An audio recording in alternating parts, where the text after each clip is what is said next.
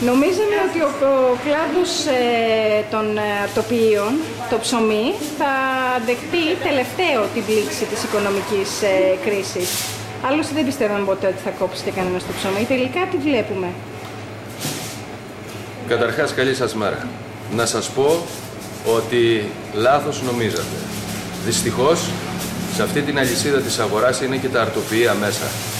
Ίσως είναι λίγο πιο πίσω από ό,τι είναι η υπόλοιπη αγορά. Αλλά σίγουρα και τα αρτοποιεία είναι κομμάτι της αγοράς, κρίκος της αγοράς και πλήττονται και αυτά στον ίδιο βαθμό με την, με την αγορά. Ίσως λίγο αργότερα από κάποια άλλα επαγγέλματα.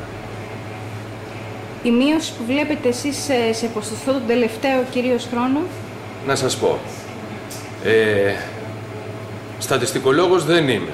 Αλλά αυτό που μπορώ να καταλάβω και από συναδέλφους που συζητάμε ε, υπάρχει μία μείωση πάνω από 50% στα ψηλικά σε όλα τα καταστήματα γενικότερα. Τώρα, για το ψωμί, στα περιφερειακά καταστήματα η μείωση φτάνει ίσως το 20, το 25 με 30%. Στα πιο κεντρικά καταστήματα όπου είναι καταστήματα που έχουν πέρασμα, η μείωση φτάνει γύρω στο 20%.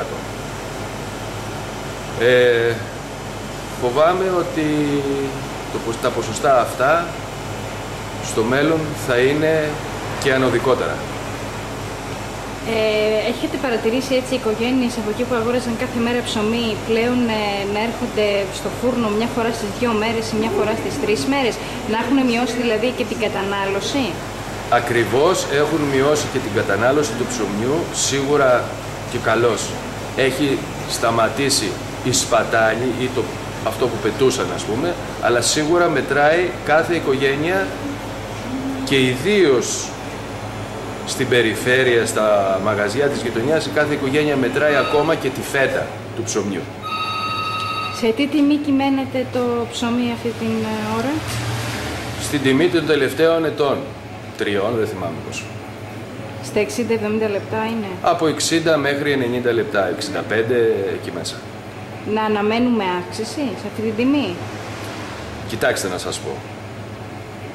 Οι πρώτες ύλες συνεχίζουν ακάθεκτες στην ανωδική τους πορεία.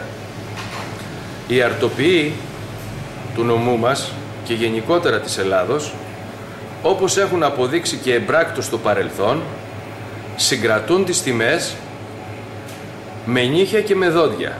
Το ίδιο θα κάνουν και τώρα. Και να θυμάστε, που είμαι σίγουρος ότι το θυμάστε, απλά υπενθυμίζω, ότι ποτέ δεν μετακύλησαν οι αρτοποιοί του νομού Μαγνησίας αυξήσεις του ΦΠΑ στο ψωμί.